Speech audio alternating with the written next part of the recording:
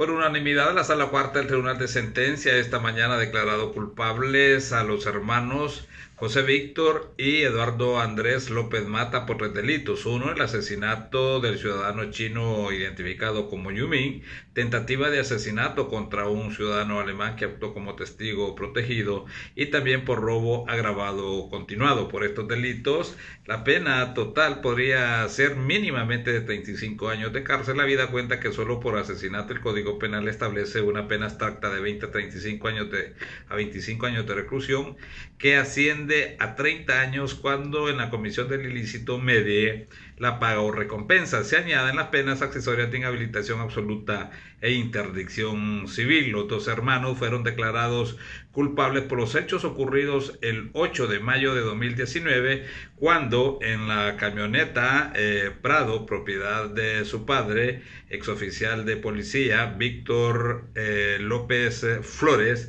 fueron hasta el Progreso Lloro a un hotel donde subieron a los dos ciudadanos extranjeros, supuestos comerciantes de animales exóticos. A ellos los llevaron a un predio baldío en una zona despoblada de la aldea de Ticamaya, carretera a Choloma.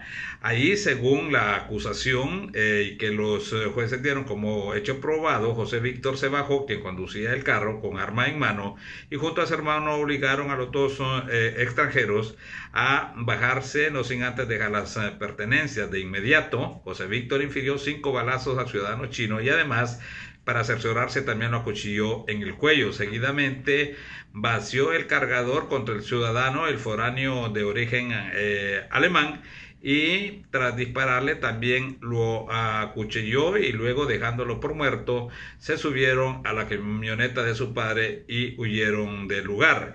El foráneo procedente de Alemania logró eh, quien había simulado su muerte para salvar eh, la vida obviamente se levantó, buscó ayuda, la consiguió y lo llevaron hasta el hospital Mario Catarino Rivas donde lograron salvarle la vida.